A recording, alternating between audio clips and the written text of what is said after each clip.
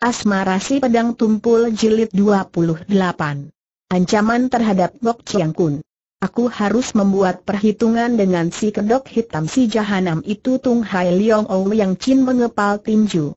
Tidak saja dia hendak memperalat aku dengan menawanmu, akan tetapi juga dia kurang ajar sekali, menguasai orang-orang Kang Ou yang dahulu tunduk kepadaku. Kita harus menyelidiki dan menangkap dia datuk para bajak laut di timur ini marah bukan main karena hampir saja dia, muridnya, dan puterinya yang sudah tertawan si kedok hitam, celaka di tangan pemimpin mati Mongol itu. Akan tetapi, suhu. Bukankah mereka itu menjanjikan kedudukan Raja Muda kepada suhu kalau perjuangan mereka berhasil Manyoko bertanya. Persetan. Belum apa-apa, dia hendak memaksa kita untuk melakukan pembunuhan terhadap dua orang pangeran, seolah kita ini anak buahnya saja. Lebih lagi, dia menawan Akim, itu bukan kerja sama namanya. Siapa sih dia itu hendak memperalat aku kita memang harus mencarinya dan menghajarnya, ayah, kata Akim marah. Kalau saja tidak ada Sinwan, tentu kita celaka, hem, pemuda itu? Akim, Bagaimana engkau bisa mengenal pemuda itu dan siapa dia namanya Sinwan, ayah? Memang aku telah mengenal dia sebelumnya, dia murid Sam Sian dan menjadi wakil gurunya melaksanakan tugas dari Kaisar untuk memerangi jaringan match-match Mongol. Hem, agaknya Sumoya kerap sekali dengan pemuda itu Manyoko berkata dengan nada suara dingin. Sepasang matu yang indah itu mencorong. Aku mau akrab dengan dia ataupun dengan siapa juga, apa sangkut pautnya denganmu bentaknya. Dibentak begitu, Manyoko terdiam dan mukanya berubah merah. Diam-diam dia merasa marah dan cemburu sekali.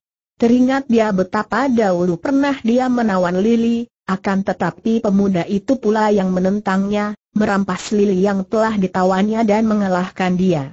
Sekarang, pemuda itu agaknya akan merebut Akim darinya.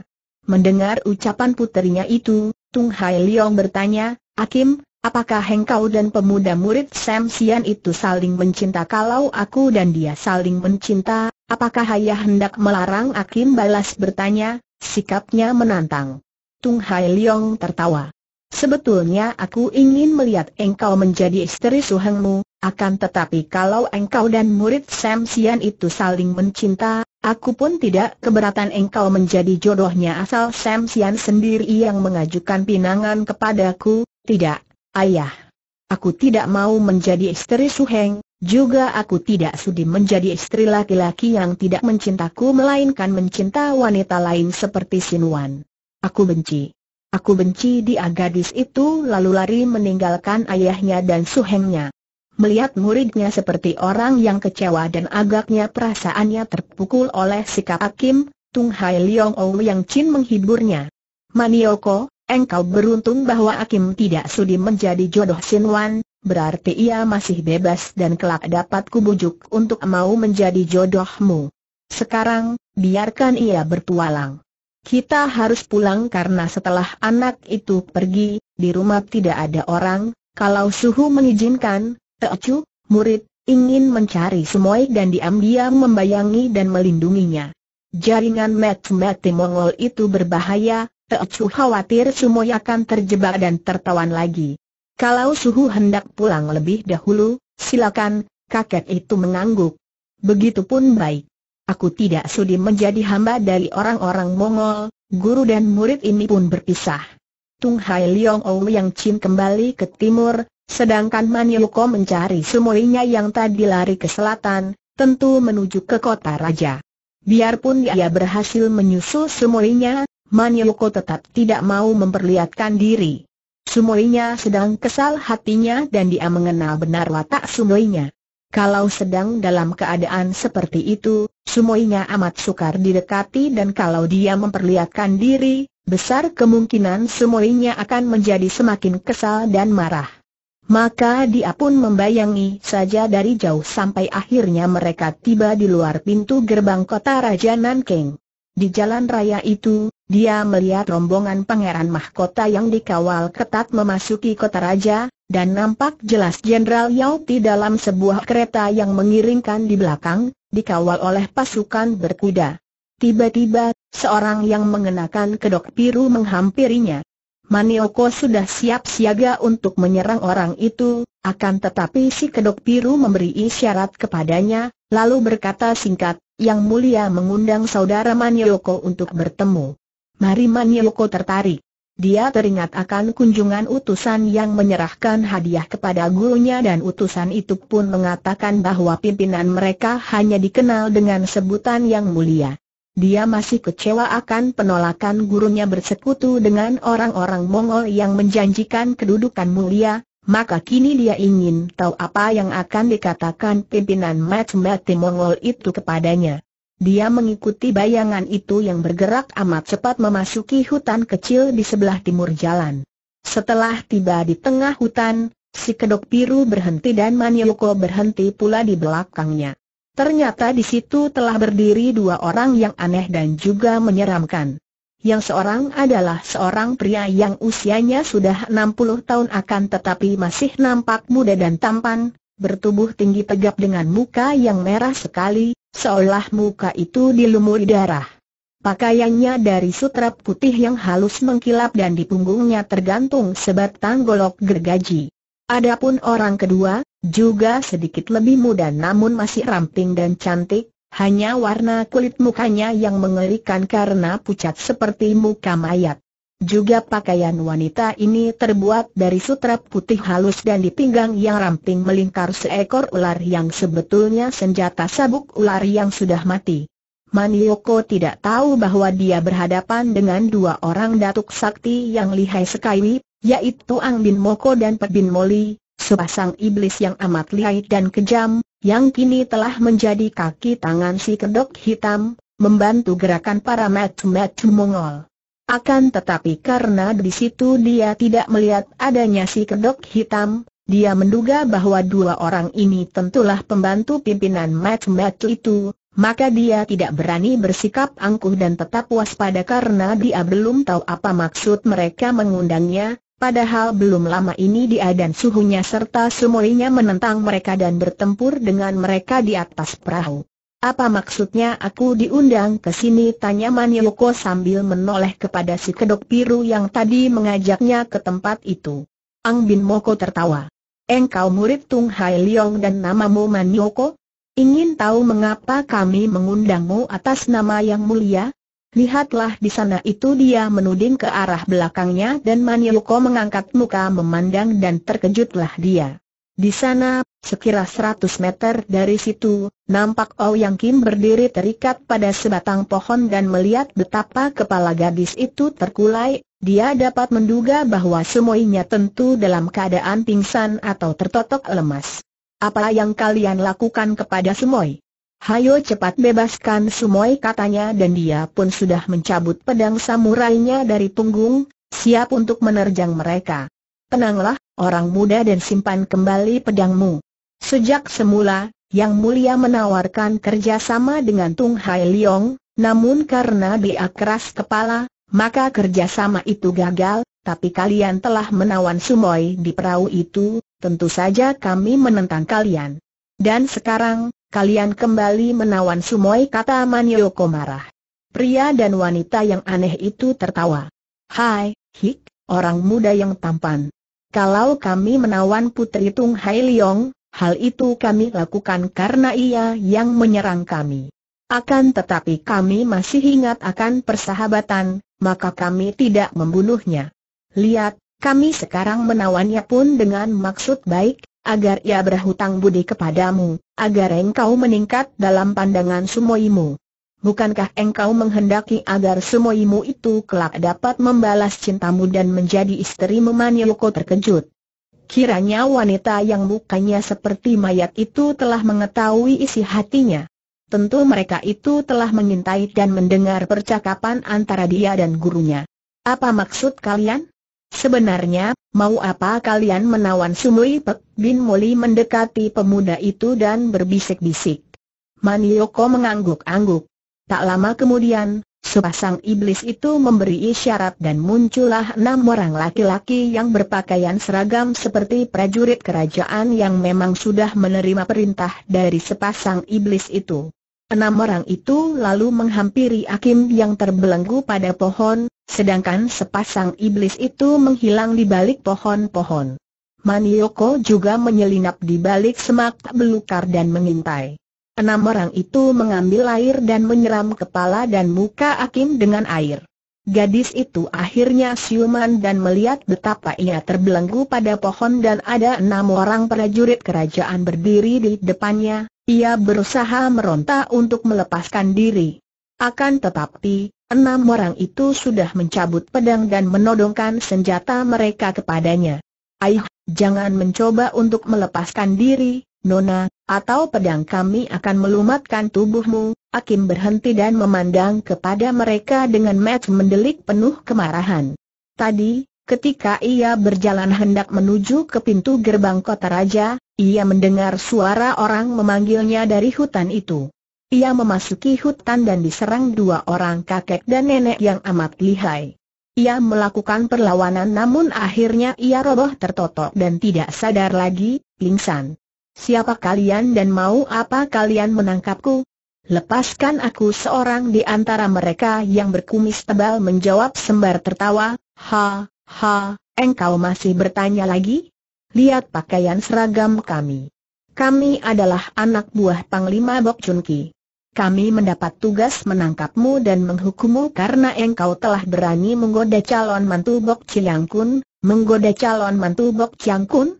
Kalian gila. Aku tidak mengenal calon mantu Bok Chiang Kun Aki membentak marah. Berarpun dia sudah terbelenggu dan ditodong pedang dalam keadaan tidak berdaya, namun sedikit pun ia tidak memperlihatkan rasa takut.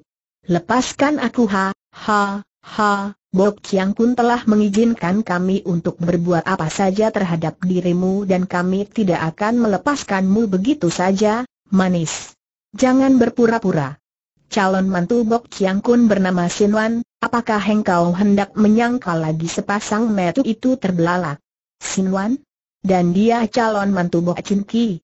Tentu saja ia tidak dapat menyangkal bahwa ia mencinta Sinwan walau kini cintanya berubah menjadi perasaan sedih dan marah karena pemuda itu tidak membalas cintanya.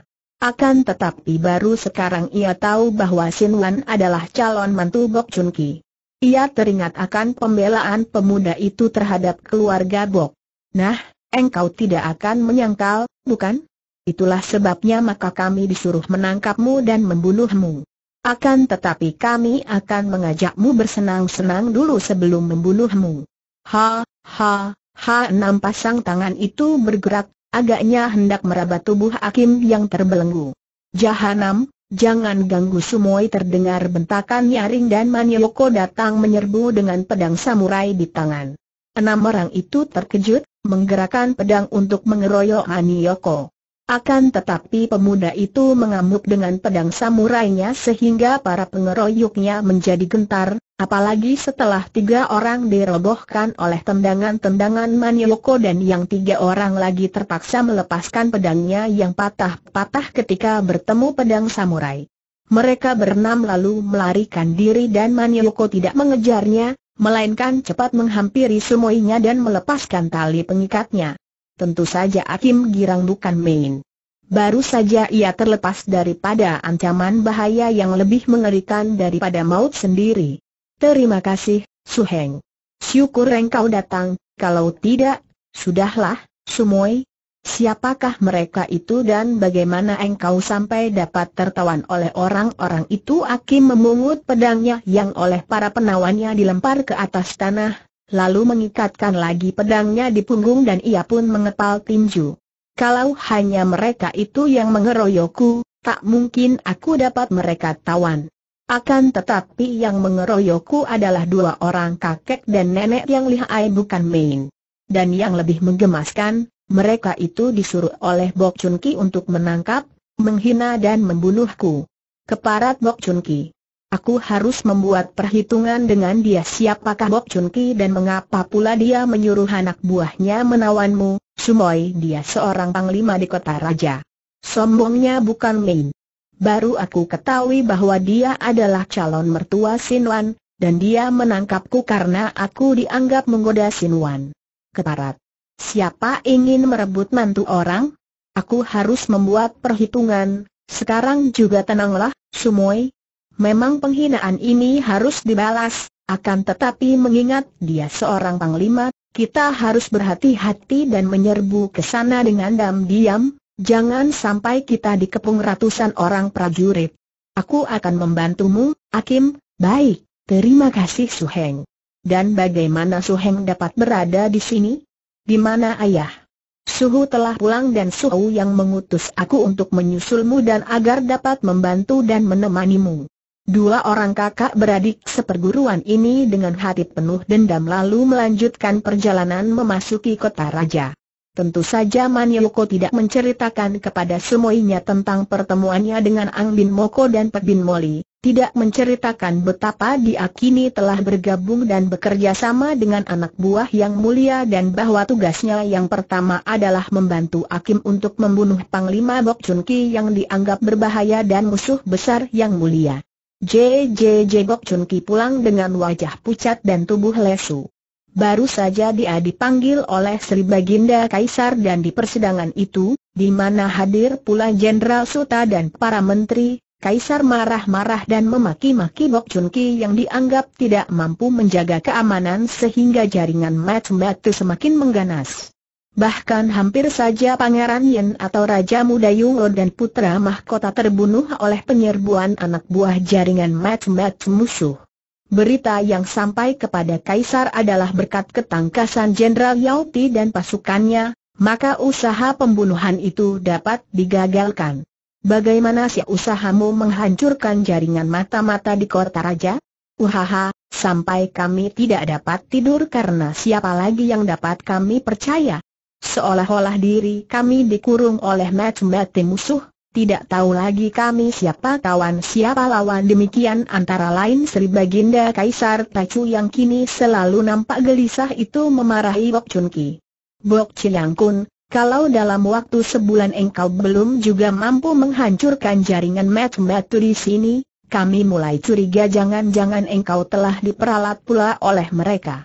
Sebulan engkau harus mampu menghancurkan mereka, atau kau kami anggap pemberontak dan pengkhianat dan sekeluargamu akan kami suruh jatuhi hukuman mati ucapan kaisar ini terasa bagaikan kilat menyambar di hari panas, amat mengejutkan, akan tetapi juga bagaikan ujung pedang menusuk jantung.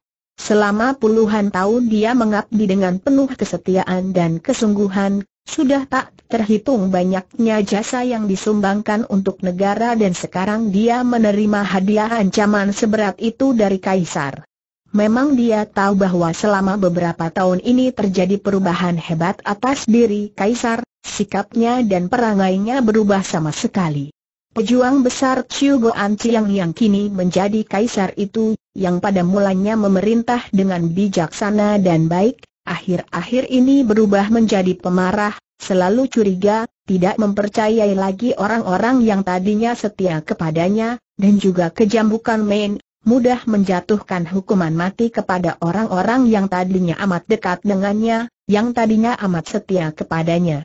Setelah tiba di rumah, Bok Chun Ki tidak menceritakan ancaman kaisar itu kepada keluarganya. Dia tahu bahwa terutama, sekali Chusui ini yang baru saja menjadi istrinya yang sah dan tinggal di rumahnya sebagai istri terkasih, tentu akan penasaran dan marah sekali kalau mendengar akan peristiwa di istana tadi. Chu In tentu akan marah dan mungkin melakukan hal-hal yang bahkan akan membuat Kaisar semakin curiga kepadanya. Oleh karena itu, dia hanya menceritakan tentang peristiwa di luar kota An ketika Raja Muda Yungo dan Pangeran Mahkota mengadakan pesta pertemuan, tentang penyerbuan match-match yang dapat digagalkan. Kita tinggal menunggu pulangnya Lili. Pasti ia akan membawa keterangan yang lebih lengkap mengenai peristiwa itu, kata Bok Chun Ki.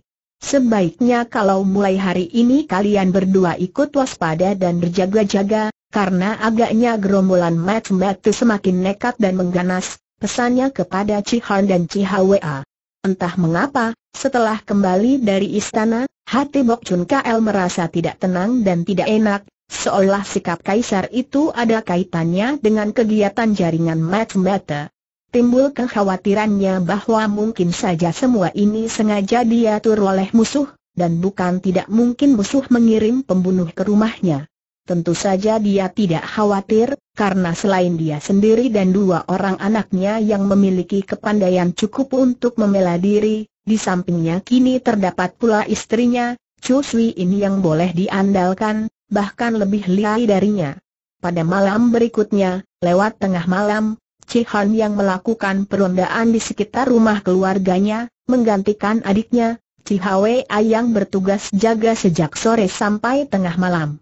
Mereka hanya berjaga-jaga dan kadang meronda, kalau-kalau ada musuh yang menyusup ke dalam karena di luar pekarangan rumah mereka sudah terdapat pasukan penjaga yang siang malam menjaga keamanan rumah keluarga Panglima itu. Ketika Cihan berkeliling sampai di taman keluarga yang berada di belakang rumah, tiba-tiba dia berhenti melangkah karena dia melihat bayangan orang berkelebat. Akan tetapi tidak terdengar suara apa pun, maka dia meragu, mengira bahwa mungkin itu permainan bayangan pohon yang digerakkan angin malam. Biarpun demikian, dia memasuki taman untuk memeriksa. Taman itu cukup terang karena di sana-sini terdapat lampu gantung. Akan tetapi udaranya dingin bukan main. Dengan tangan kanan digagang pedang yang tergantung di pinggang kiri, Cihan melangkah dengan hati-hati ke dalam taman bunga itu. Tiba-tiba dia terkejut karena dari balik rumpun bunga yang tebal muncul dua bayangan orang yang gerakannya gesit sekali. Di bawah sinar lampu dia sempat melihat bahwa dua orang itu adalah seorang pemuda tampan dan seorang gadis cantik. Dia merasa pernah mengenal wajah gadis cantik itu, akan tetapi belum sempat dia menegur, dua orang itu telah menyerangnya dengan gerakan yang amat cepat. Cihan mencabut pedangnya, akan tetapi baru saja pedangnya tercabut, gadis itu telah berhasil menotok pundaknya dan dia pun terpelanting. Pemuda itu menyambar tubuhnya, lalu memanggul tubuhnya yang lemas tak berdaya. Kita bawa dia keluar. Cepat kata si gadis dan pemuda itu lalu meloncat, mengikuti gadis itu yang bergerak cepat dan ringan seperti burung terbang saja. Mereka adalah Hou Yang Kim dan suhengnya, Manioko. Seperti kita ketahui, Akim telah terkena siasat yang dilakukan secara cerdik oleh para pemberontak, yang menyamar prajurit anak buah Bok Chun Ki yang menawannya dan mengancamnya hendak memperkosanya lalu membunuhnya. Sudah diatur oleh mereka yang berhasil memperalat Manioko sehingga pemuda inilah yang menyelamatkan semuanya. Tentu saja Akim marah dan mendendam kepada Bok Chun Ki dan Manioko beraksi membantunya, Padahal memang telah diatur agar Ro Yang Kim membunuh Bok Chiang Kun dibantu Manioko. Kalau sampai usaha ini berhasil, tentu saja pihak musuh untung karena Bok Chun Ki merupakan lawan dan penghalang yang berbahaya. Andai kata terbalik dan Yang Kim dan Manioko yang tewas di tangan Panglima yang lihai itu, pihak pemberontak juga untung karena tentu akan terjadi permusuhan antara Bok Chiang Kun dan Tung Hai Leong Yang Chin. Cihan yang tak mampu bergerak lagi itu dilarikan ke dalam sebuah pondok di dalam hutan, di luar kota raja. Agaknya memang telah diatur sehingga Akim dan suhengnya, dengan Manioko sebagai penunjuk jalan, dapat lolos keluar dari kota raja dengan mudahnya. Mereka meloncati pagar tembok dan seolah-olah sengaja dibiarkan saja oleh para penjaga, atau memang mereka itu tidak melihat gerakan dua orang yang amat cepat itu. Manioko melemparkan tubuh Cihan ke atas sebuah dipan dan sekali dia menotok, Cihan dapat bergerak. Pemuda ini menggosok-gosok kedua lengannya yang terasa masih lemas, matanya mencorong memandang kepada kedua orang itu di bawah sinar lampu yang cukup terang. Siapakah kalian dan mengapa pula kalian menawan kutanya Cihan? Sikapnya tenang dan gagah, sedikit pun tidak memperlihatkan perasaan takut. Keparat, sudah menjadi tawanan kami masih bersikap sombong? Engkau perlu dihajar sedikit agar tidak bersikap angkuh kata Manyoko dan dia pun menampar ke arah pipi Cihan. Cihan yang sudah terbebas dari totokan tentu saja tidak membiarkan dirinya ditampar begitu saja. dia telah mempelajari ilmu dari ayahnya sejak kecil, maka cepat dia pun menangkis dengan pengerahan tenaganya. Duk dua lengan bertemu dan akibatnya, Cihan terjengkang saking kuatnya lengan lawannya sehingga dia terkejut bukan main. Kiranya kedua orang penawannya itu lihai bukan main. Tadi pun demikian cepatnya gadis itu menotoknya roboh dan kini, sekali mengadu tenaga, dia pun terjengkang oleh pemuda itu. Suheng, hentikan itu tiba-tiba gadis itu berseru dan Manyoko yang sudah siap menghajar, menarik kembali tangannya dan hanya berdiri bersungut-sungut. Sumoy, menghadapi bocah bangsawan sombong ini tidak perlu memberi hati Manyoko mengomel. Akan tetapi dia tidak bergerak lagi karena dia tidak berani menentang kehendak Sumoynya. Setelah Chihon bangkit lagi dan berdiri tegak, Biarpun terkejut namun dia sama sekali tidak takut, Yang Ki menghampirinya dan sejenak mereka saling pandang dengan sinar mata penuh perhatian. Engkau tentu yang bernama Bok Chihon, bukan tanyanya dengan sikap angkuh dan dingin. Benar, dan siapa engkau, Nona? Apa pula artinya semua ini hem? Aku menawanmu sehubungan dengan maksudku untuk membunuh Bok Chun Ki, Cihan tidak merasa heran kalau ada orang-orang memusuhi ayahnya. Ayahnya, sebagai seorang panglima petugas keamanan yang telah membasmi banyak sekali gerombolan penjahat, tentu saja dimusuhi banyak orang kangou. Akan tetapi kalau yang memusuhi seorang gadis secantik ini dan suhengnya yang juga gagah dan tampan, dia sungguh merasa amat heran. Nona, ayahku adalah seorang panglima pembasmi kejahatan, dia bukan orang jahat, dia memancing untuk mengetahui keadaan gadis itu. Tentu saja engkau sebagai anaknya tidak mengatakan dia jahat. Akan tetapi, baru kemarin dulu dia telah menghinaku, mengutus orang-orang untuk menangkapku dan membunuhku. Kau bilang perbuatan itu tidak jahat? Aku harus membalasnya, dan aku menangkapmu untuk memaksanya datang ke sini menyerahkan nyawanya kepadaku. Ayahmu seorang pengecut, mengirim orang-orang untuk mengeroyokku, menawanku, bahkan menyuruh orang-orang itu memperkosaku sebelum membunuhku tidak mungkin. Tidak mungkin ayah berbuat seperti itu. Kalau dia menangkap gerombolan penjahat, tentu akan diadili dulu, dan tidak mungkin sama-sama sekali dia menyuruh anak buahnya membunuh orang, apalagi memperkosa wanita, Aku tidak percaya Cihan membantah keras dan merasa penasaran sekali. Huh, ayahnya anjing, anaknya tentu anjing pula Manioko membentak. Tutup mulutmu yang kotor Cihan balas membentak.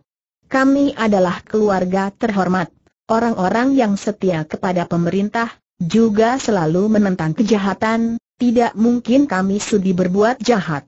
Ini tentu fitnah Bok Chihon, Bagaimanapun engkau menyangkal, aku sendiri yang mengalaminya. Engkau percaya atau tidak terserah. Sekarang, engkau harus menulis surat kepada ayahmu, minta agar dia datang ke sini seorang diri. Kalau dia tidak mau datang, engkau akan kubunuh aku tidak sudi bentak Cihan dengan berani. Nona, pikir baik-baik. Apa yang kau lakukan ini adalah suatu kejahatan. Engkau telah ditipu orang, ayahku, kena difitnah.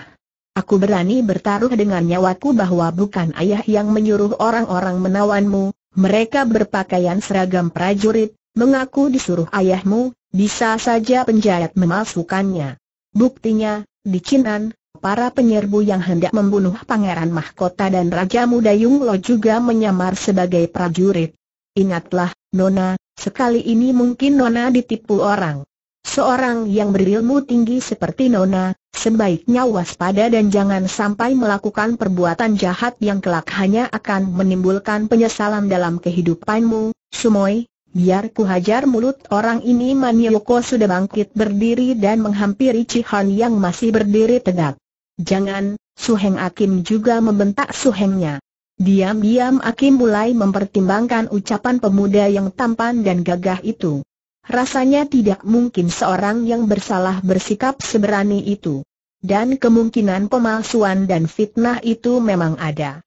Bok Chihon, katakan, bukankah Sinwan merupakan calon mantu ayahmu mendengar pertanyaan ini? Chihon tertegun dan tiba-tiba mendengar disebutnya nama Sinwan, Dia pun teringat siapa gadis ini.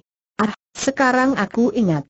Engkau tentu Nona Yang Kim yang dulu pernah datang ke rumah kami bersama Sin Wan Akim tersenyum mengejek, hatinya semakin panas diingatkan peristiwa itu karena pada waktu itu, ia masih mencinta Sin Wan dan mengharapkan pemuda itu membalas cintanya. Memang aku Yang Kim. Nah, jawablah pertanyaanku tadi. Bukankah Sin Wan calon mantu ayahmu ya? Dulunya memang begitu, akan tetapi, Cihan merasa ragu-ragu karena tidak perlu dia menceritakan urusan keluarganya kepada orang luar. Sumoy, sudah jelas bahwa para prajurit itu adalah anak buah Bok Chun Ki. Perlu apa lagi bertanya-tanya? Paksa dia menulis surat. Biar aku yang menyiksanya dan memaksanya Manyoko berkata. Mendengar jawaban sepotong tadi, Akin merasa yakin bahwa tentu Bok Chun Ki yang menyuruh anak buahnya menangkapnya karena mengira ia hendak menggoda Sinuan. Hatinya menjadi panas sekali dan ia menatap wajah Cihan dengan sinar mata mencorong. Katakan kepada ayahmu, aku tidak sudi menggoda calon suami orang. Aku tidak serendah itu. Tunggu saja, ku beri waktu sampai besok pagi. Kalau engkau belum juga mau menulis surat kepada ayahmu, Aku akan menyerahkan engkau kepada suhengku ini dan jangan katakan bahwa aku kejam setelah berkata demikian, ia menoleh kepada suhengnya. Suheng, aku pusing dan hendak beristirahat. Jaga dia baik-baik, akan tetapi jangan ganggu, tunggu sampai besok pagi, gadis itu lalu memasuki ruangan dalam pondok itu dan merebahkan diri di depan yang sederhana. Manioko memandang kepada Cihan dan senyumnya membayangkan kekejaman. Aku akan senang sekali kalau engkau mencoba untuk melarikan diri agar aku mendapat alasan untuk menyiksa dan membunuhmu sekarang juga. Setelah berkata demikian, Manyoko duduk bersila dan memejamkan mata, seolah memberi kesempatan kepada Cihan untuk mencoba melarikan diri. Cihan bukan pemuda bodoh. Dari pertemuan tenaga tadi dia tahu bahwa pemuda ini kuat dan lihai sekali. Kalau dia nekat melarikan diri, berarti dia membunuh diri. Apalagi gadis yang lihai itu pun berada dekat. Gadis itu adalah putri Tunggai Liong Yang Chin, demikian keterangan yang pernah dia dengar dari Sinuan. Dan tentu pemuda pendek ini murid datuk itu. Sungguh berbahaya, dan dia pun menjadi gelisah memikirkan ayahnya. Ayahnya difitnah, Ataukah kedua orang ini sengaja berpura-pura agar dapat memancing ayahnya di situ untuk mereka bunuh? Sayang, dia menghela napas panjang. Gadis ini kelihatan demikian manis, bahkan dari sikapnya ketika melarang suhengnya bersikap kasar terhadap dirinya, dia tidak percaya bahwa gadis seperti itu berhati jahat. Dia maklum bahwa melarikan diri tidak ada gunanya, maka dia pun duduk pula bersila untuk menghimpun tenaga yang mungkin dia perlukan pada hari esok. Karena menderita tekanan batin, Akim gelisah di atas depan. Diam-diam harus diakuinya bahwa pemuda tawanan itu amat menarik hatinya. Pemuda itu demikian tabah, pemberani dan gagah, terutama sekali pandang matanya yang demikian lembut namun mengandung keberanian luar biasa. Seorang yang jantan, pikirnya, dan hal ini membuat ia semakin gelisah. Andai kata benar Bok Chun Ki yang menyuruh anak buahnya menawannya karena Panglima itu marah kepadanya, mengira ia menggoda Sinwan, hal itu tidak ada sangkut pautnya dengan Bok Chihan. Akhirnya, ia dapat jatuh pulas pula dan diganggu mimpi tentang seorang pemuda yang wajahnya berubah-ubah, seperti wajah Manioko, kemudian Sinwan, dan akhirnya wajah Bok Chihan. Tiba-tiba ia dikejutkan dan dibangunkan oleh suara ribut-ribut. Ketika ia membuka matanya, ia mendengar suara orang berkelahi di ruangan depan. Cepat ia meloncat turun dan keluar dari ruangan dalam. Dilihatnya Manyoko sedang mendesak Bok Chihan dengan serangan-serangan maut yang membuat Chihan repot sekali melindungi dirinya.